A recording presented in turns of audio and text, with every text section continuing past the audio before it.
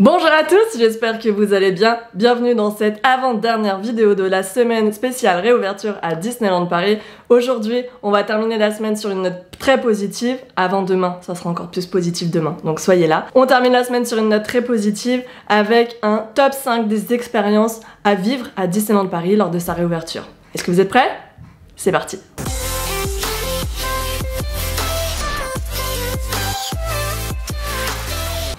Alors, je l'ai dit hier et je l'ai dit tout au long de la semaine, l'expérience du visiteur aujourd'hui à Disneyland Paris, elle est un petit peu différente de ce qu'on a connu jusqu'à aujourd'hui à Disneyland Paris justement. Les rencontres personnages ne sont pas les mêmes, les restaurants ne sont pas les mêmes, les spectacles sont différents aussi. Euh, voilà, il y a beaucoup de choses qui ont changé. Les attractions ont également des files d'attente qui ont été adaptées.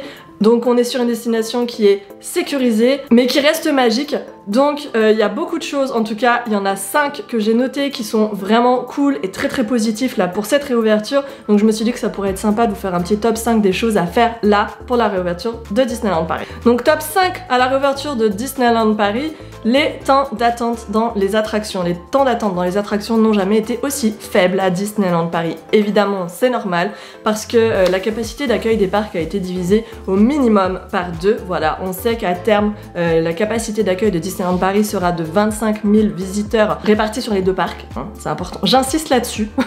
répartis sur les deux parcs. Alors qu'avant, on était sur une capacité d'accueil de 60 000 visiteurs par jour. Voilà. Donc euh, en termes de capacité, c'est déjà divisé par deux. Évidemment, aujourd'hui, l'affluence, elle est pas encore là. On est sur un, retour progressif voilà, des visiteurs sur la destination, donc clairement, il n'y a jamais eu si peu de monde sur les parcs Disney en France. Ce qui veut dire évidemment que vous allez avoir des attractions qui ont des temps d'attente autour de 5, 10, euh, peut-être 15 minutes. Évidemment, euh, ça peut être un tout petit peu plus long parce que on sait qu'il y a la signalétique au sol avec la distanciation à respecter. En fonction de l'embarquement, comme il y a une rangée qui est laissée entre chaque groupe de visiteurs, ça peut être un petit peu plus long, mais on n'est plus sur des temps d'attente tels qu'on les a connus sur les étés précédents, à savoir 60-75 minutes sur certaines attractions. Là, aujourd'hui, vous pouvez faire jusqu'à euh, peut-être 15, 16, 17 attractions par jour. J'ai vu ça passer parmi les abonnés sur Instagram. Donc voilà, vous n'allez jamais faire autant d'attractions que cet été à Disneyland Paris. Ça, c'est vraiment la cinquième note positive de cette réouverture. Quatrième note positive de la réouverture de Disneyland Paris, les selfie spots. Alors les selfie spots, je vous en ai parlé dès lundi, ce sont les nouvelles rencontres personnages à Disneyland Paris. Avant les rencontres personnages, en fait, vous aviez une file d'attente et après vous aviez une interaction avec des câlins, des high five et tout avec les personnages. Aujourd'hui, ça ne fonctionne plus comme ça. Aujourd'hui, vous avez des personnages qui sont placés un petit peu partout sur des espaces, soit en hauteur, soit à distance des visiteurs. Mais vous allez avoir des personnages surtout qui, pour la plupart des euh, endroits dont je vous ai parlé lundi, sont plusieurs. Vous allez avoir euh, Alice et ses amis, vous allez avoir Mickey, Minnie, euh, Dingo, plutôt Donald, voilà, qui sont à Meet Mickey Mouse. Vous avez Anna et Elsa, euh, Christophe et Sven qui sont au Walt Disney Studio. Donc euh, voilà, la possibilité de rencontrer ou en tout cas de voir à nouveau et de faire des photos avec Anna et Elsa, c'est quelque chose qui était attendu à Disneyland Paris depuis La Reine des Neiges 1, il y a 5 euh, ans. Donc le fait que les, voilà, les princesses euh, d'Arendelle soient revenues, c'est une note très positive, même si voilà, il faut réserver sur la Bertie, que c'est vite compliqué, que c'est vite frustrant. En attendant, l'offre est là. Donc euh, voilà, c'est quand même là aussi très positif. Il y a beaucoup, beaucoup, beaucoup de personnages en ce moment à Disneyland Paris. Il n'y en a jamais eu autant. Donc euh, vous allez en voir tout au long de la journée. Vous allez même en rencontrer, en voir certains que vous n'avez jamais vu. Euh, je pense notamment aux expériences Marvel, aux expériences Michael Magicien. Donc ça, c'est quand même des choses qui sont plutôt cool et je trouve que c'est très positif là pour cette réouverture. Troisième point très positif de la réouverture de Disneyland Paris, la rénovation complète de Main Street USA. Ils ont repeint tout Main Street USA et la rénovation aussi de certaines attractions, notamment euh, certaines choses de Fantasyland. J'ai pas encore vu par moi-même Frontierland, Adventureland et Discoveryland, mais on sait que tout a vraiment été euh, fait pour que euh, le parc soit un vrai joyau, que tout soit remis à neuf au maximum. Et vraiment Main Street USA et Fantasyland étaient super canons quand je les ai vus là lors du Media Tour. C'est très très beau ce qu'ils ont fait. Toutes les attractions sont ouvertes, sauf celles qui étaient prévues pour des longues fermetures, je pense notamment à Buzz Lightyear, mais toutes les attractions seront ouvertes là cet été à Disneyland Paris. Donc voilà, le fait que, le parc soit ouvert comme si c'était limite une première ouverture, presque, ça c'est vraiment très positif je trouve, et, et clairement, à mon sens, de ce que j'ai vu Disneyland Paris n'a jamais été aussi beau. Le labyrinthe d'Alice, il est nickel. Main Street est nickel. Tout Fantasyland est super beau, super propre. Enfin, c'est à voir. Franchement, euh, tous les lagons sont super clean, euh, très très bleus, hyper propres. Enfin, comme voilà, comme on voit rarement à Disneyland Paris. Pour moi, c'est un vrai bonus. Deuxième note très positive aussi de la réouverture de Disneyland Paris, que moi j'appelle le hello ou le goodbye des personnages à l'entrée du parc Disneyland. Voilà. Donc euh, tous les matins et tous les soirs, actuellement, vous avez les personnages qui sont sur la gare de Main Street Station et qui vous font coucou, voilà, avec lesquels vous pouvez faire des photos vite fait en selfie.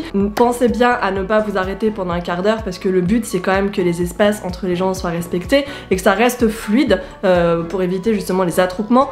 Mais euh, ce hello et ce goodbye de la part des personnages, il est tellement cool. En plus, il est fait au son de la musique qu'ils ont créé spécialement là pour la réouverture qui s'appelle Coming Home to Disneyland et elle est tellement cool cette musique en plus vraiment très entraînante. Le fait de voir les personnages comme ça quand on arrive et quand on repart le soir, c'est génial et honnêtement entre nous, euh, moi j'espère qu'ils vont garder cette expérience pour toujours.